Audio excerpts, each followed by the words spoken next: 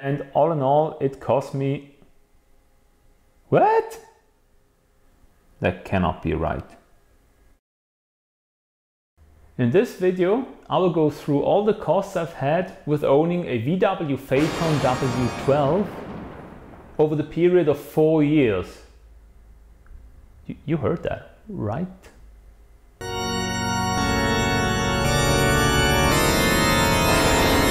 I've previously done videos about how much it cost me to own a Mercedes SL55 AMG and a Porsche 911 Turbo.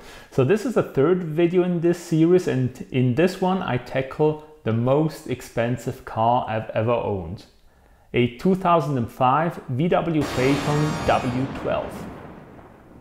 I'm not just saying this is the most expensive car I ever owned because it was expensive to buy, it wasn't really, but because I have a spreadsheet and over 30 pages of service records for the car.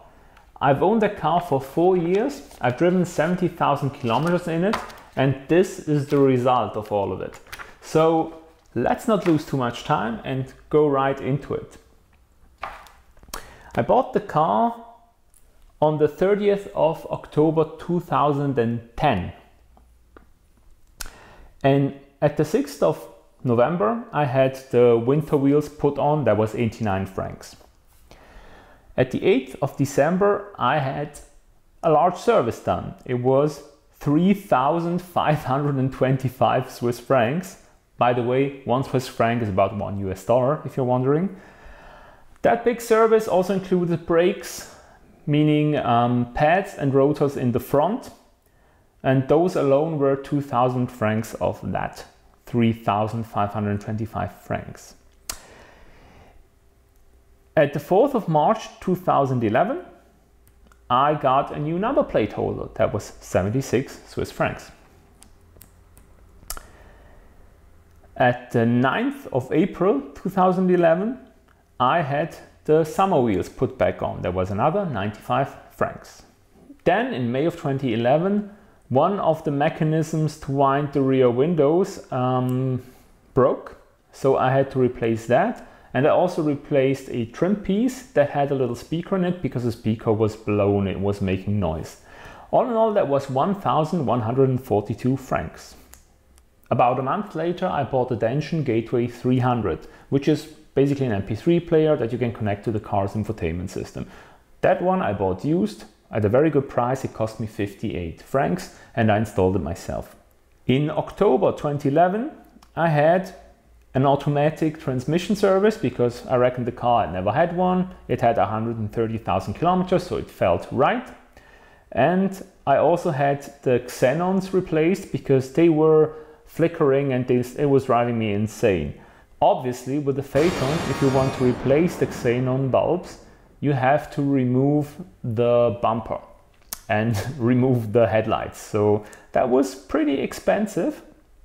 Also in the at that occasion I had all the the little plastic tubing replaced that um, that had to do with the with the crankcase ventilation and because the they were made out of plastic they were becoming brittle they were breaking and the car was getting was getting air it wasn't supposed to get. So I had that done because the car was due for a vehicle inspection. So I wanted to have it tip top ready. Also put the winter wheels back on. That was 4,363 Swiss francs. Yeah. Um, the car did not pass the inspection because the upper control arms, the bushings were worn out. So I had then, about a week later, replaced all the upper control arms in the front for 1,478 Swiss francs. In January 2012, the car was due for another service. Uh, I also had the rear brake pads replaced. All in all, it cost me 1,746 Swiss francs. Then in March, I bought new summer tires. They were 1,224 francs fitted. In May of 2012, I had the ballasts for the xenon lights changed because even though we changed the bulbs, they were still flickering, it was still driving me mad. These were some ballasts I bought off a specialist in the UK. Um, it cost me 200 francs to have them fitted and they didn't work. With the factory tester, it wasn't possible to program them and you need to program them in order to adjust the height of the light in this case because it's done electronically. So they didn't work. So in July, I replaced the Xenon ballast with OEM ones. I mean, really with the VW part number, not just Valeo written on top of them. Um, they were 1,600 francs.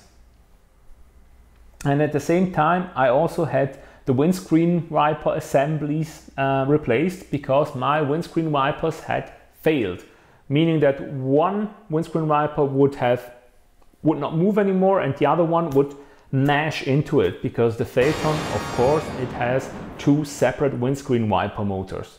Um, I had to replace them both because they were rusted and they were 500 francs. I also had to replace a height sensor for the uh, air ride. All in all, that service cost 3,125 Swiss francs.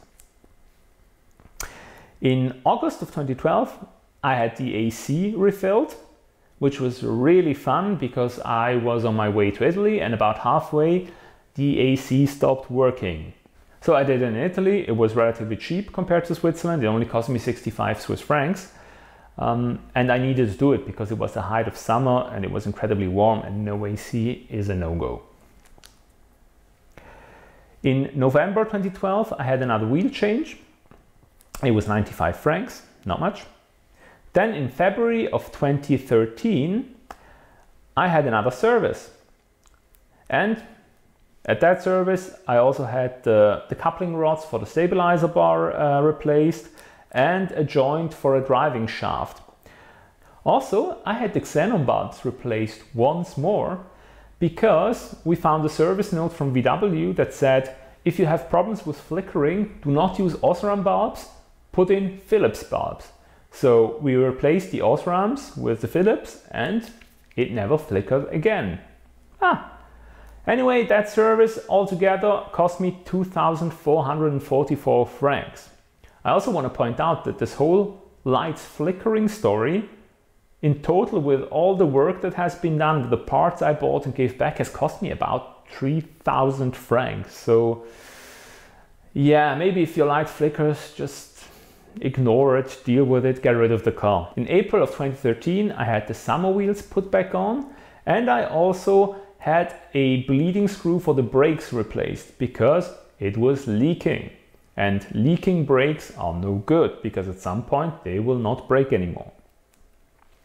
Then, in June of 2013, I had another automatic transmission service done. Even though it was just 25,000 kilometers ago that I did the last one, the automatic transmission pan was leaking and at that point, if you have to take the pan off, I just had it serviced anyway. That was 753 Swiss francs. In October of 2013, I had new winter tires fitted. In this case, it was an, a Nokian WR A3. Um, altogether, it cost me 937 Swiss francs. By the way, not great tires. In February of 2014, I had to replace the brake rotors and the pads again. This time I bought the at least the brake pads from uh, a company called EBC. They cost about half as much as the OEMs cost and they worked great. And the, the, the rotors, I had to buy them original because only VW makes them in that size. And uh, yeah. Anyway, altogether that cost me 1,431 Swiss francs. In April of 2014, I had another service performed that was relatively cheap, relatively speaking for a Phaeton, it's 1,134 Swiss francs. Two weeks after that service, it was still April 2014, I had to have the air conditioning refilled again because it didn't work anymore.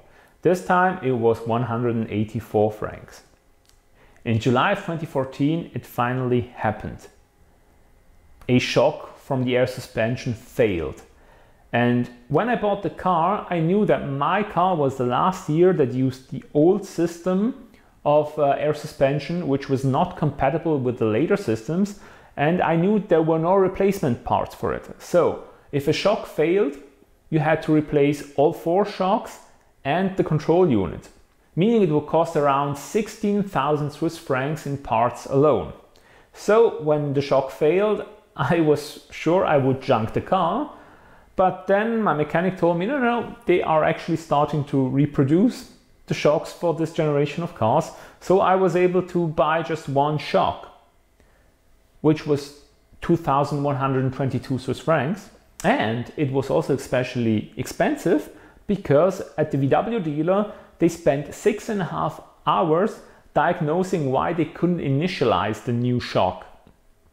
That diagnosing time alone cost me 1,161 francs. So all in all, this replacement of one shock cost me 4,524 Swiss francs.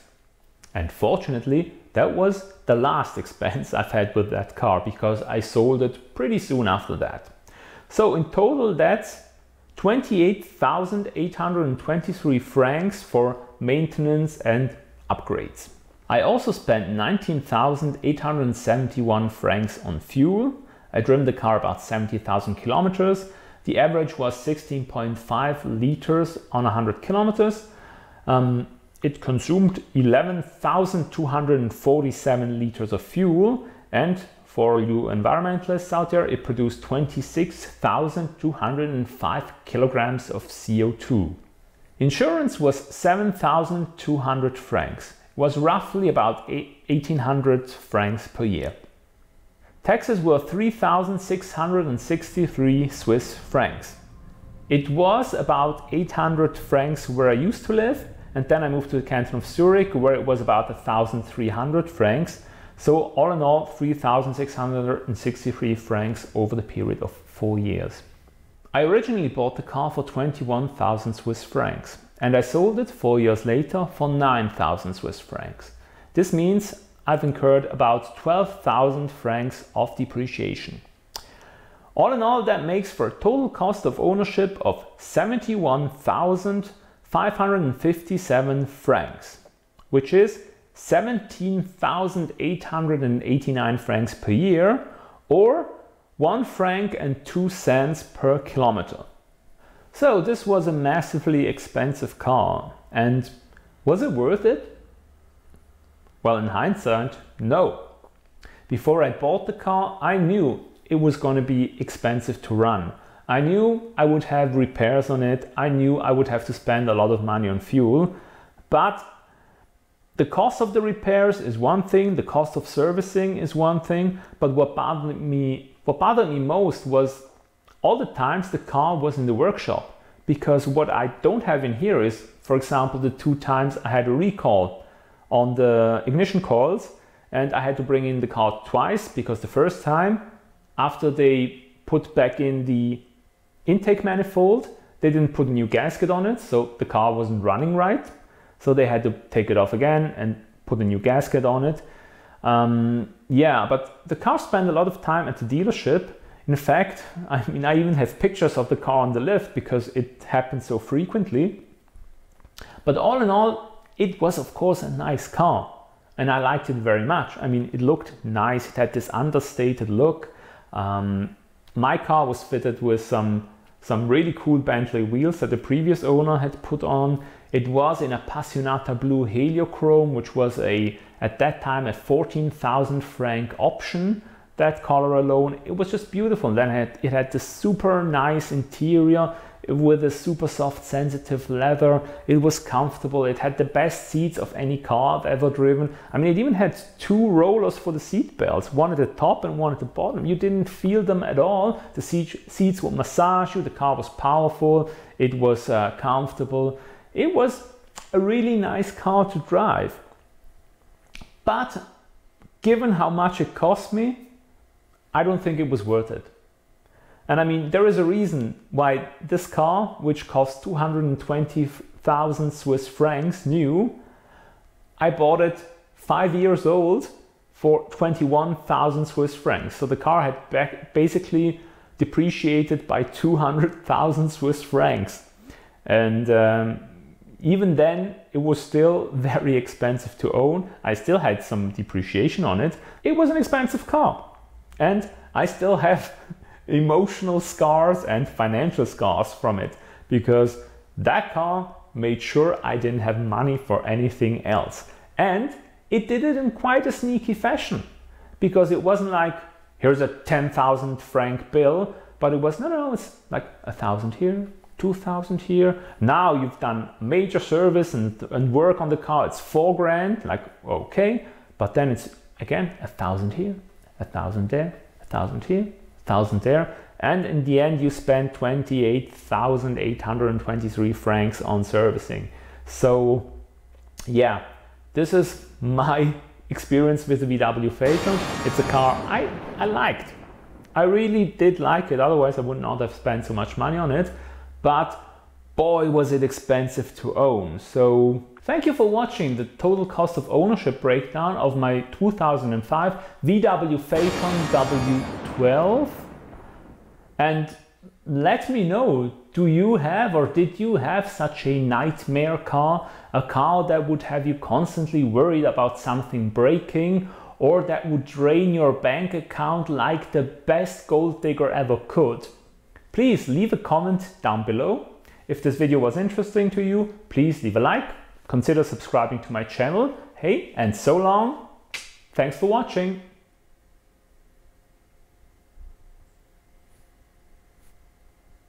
VW Phaeton.